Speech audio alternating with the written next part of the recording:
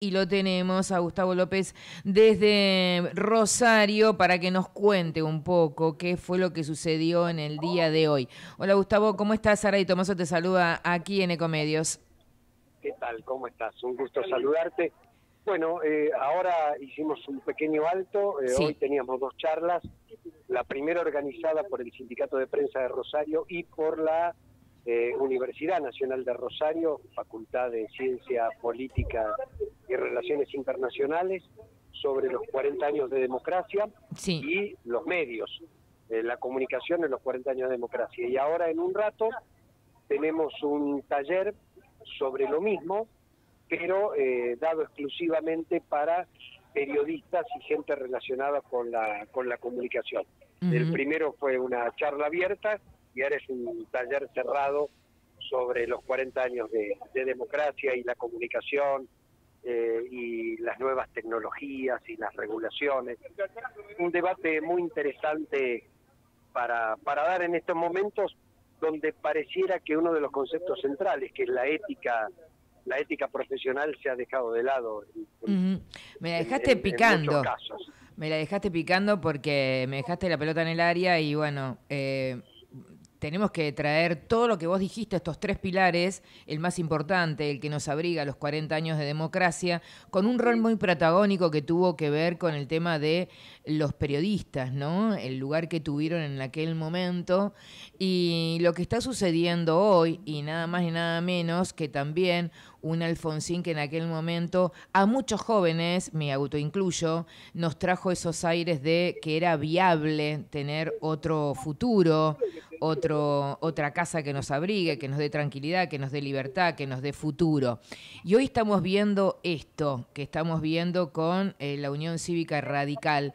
Eh, ¿cómo, ¿Cómo sentís que te retrotrae a este presente con aquel pasado? A ver, yo lo primero que espero es que hoy el radicalismo eh, se pronuncie como mínimo por la neutralidad, así como Patricia Bullrich en nombre de de Cambiemos o de Juntos por el Cambio, o de Mauricio Macri, vaya a saber, porque me parece que eso también va a provocar un cimbronazo dentro del PRO.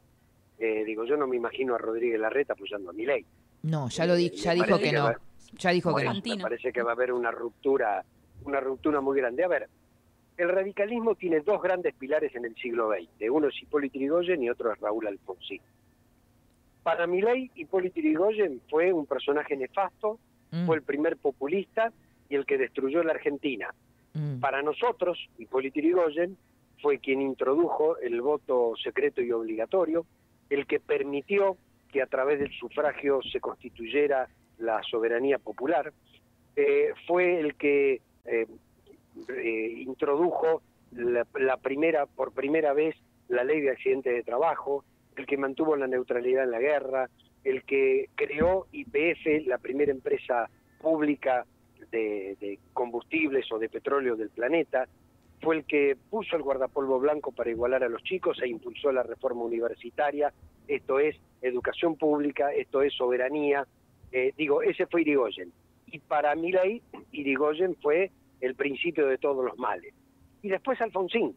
Alfonsín fue el que eh, hizo, a partir del juicio a las juntas, de la derogación de la ley de, de mm, autoamnistía, eh, de eh, la derogación del Código de Justicia Militar, el de la creación de la CONADEP, el que fundó una democracia eh, con valores a partir del nunca más. Y mi ley reivindica el terrorismo de Estado. Entonces, digo, desde el radicalismo, nadie, en su sano juicio, nadie que efectivamente sea radical, puede apoyar a un golpista, a alguien que este, dice que esto fue, digamos, una guerra y además apoya el secuestro de niños, las torturas, los asesinatos, lo justifica.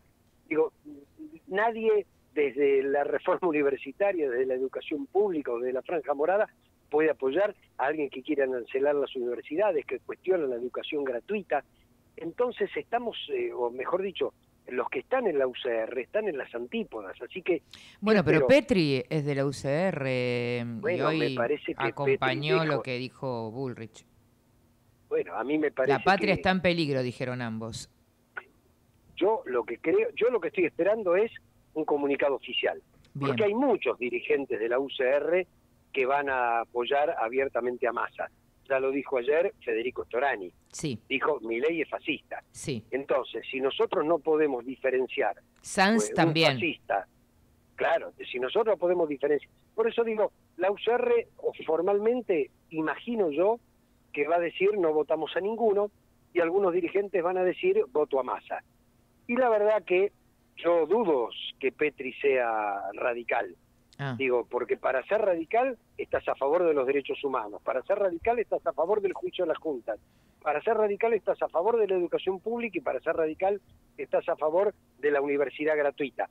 Todo lo contrario a lo que piensa mi ley. Habría que preguntarle a Petri, ¿y usted qué piensa de todos estos temas que mi ley piensa exactamente lo contrario? Porque en todo caso, si no te gusta masa, eh, bueno, no estés con masa y no podés estar con mi ley. Pero creo que es el principio del fin, no solo de Juntos por el Cambio, porque esto me parece que queda claro, sino de, bueno, Macri destruyó a Rodríguez Larreta, destruye a Bullrich y ahora va a destruir lo poco que quedaba. Y, queda más claro todavía, es eh, un proyecto democrático frente a un proyecto autoritario. Esto es lo que se lo que se va a definir. Un país que va a entregar absolutamente todo a un país que quiere salir adelante de una situación muy difícil, porque no es que estamos bárbaros, estamos en una situación muy difícil. Pero bueno, yo espero que el radicalismo se acuerde de Irigoyen y se acuerde de Alfonsín. Eh, eh, estamos hablando con Gustavo López, ahora en un ratito vamos a hablar también de lo que está sucediendo con esta inversión que llega a la Argentina, que son casi eh, un millón de dólares, pero quiero mm, preguntarte, volver a esto, ¿no?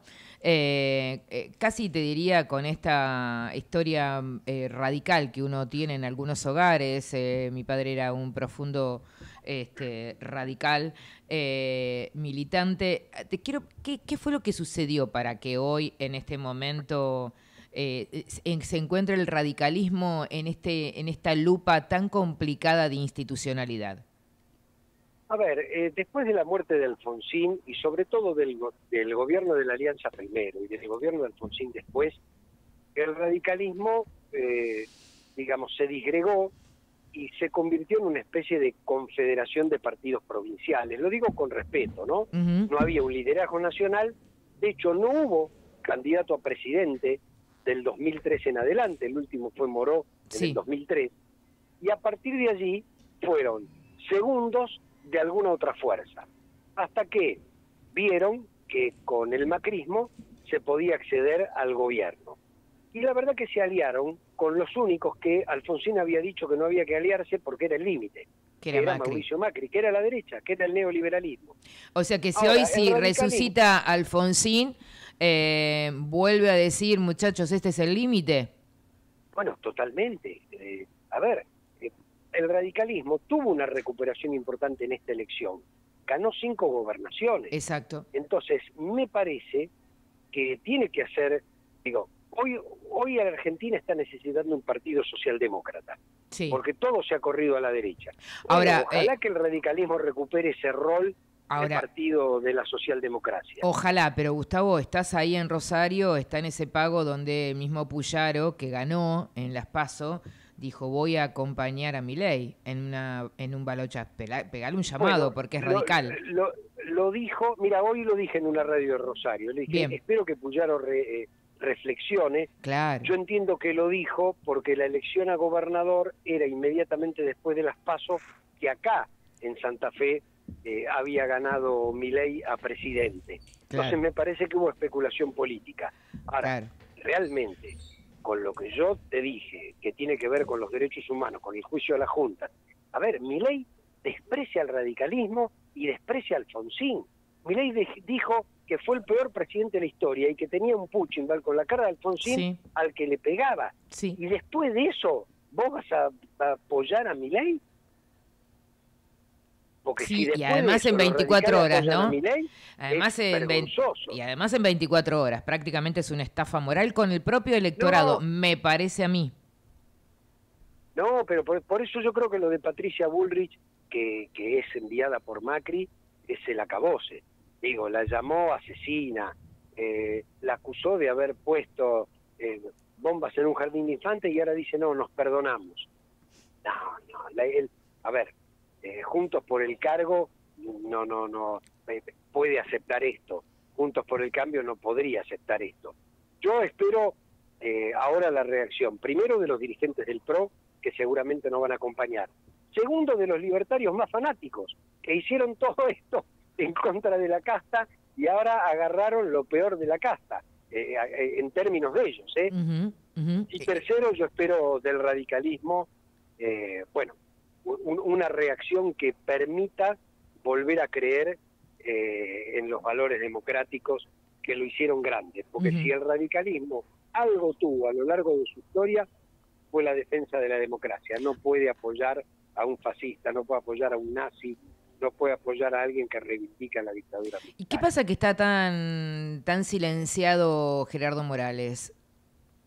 Me parece que como es el presidente del partido y espera organicidad, eh, hoy tienen la reunión, yo ahora estoy un poquitito alejado porque al haber venido a Rosario y estar en unas charlas, eh, no, no, no, no, no, no puedo mirar en minuto a minuto qué es lo que va pasando o a qué hora se reunía el radicalismo.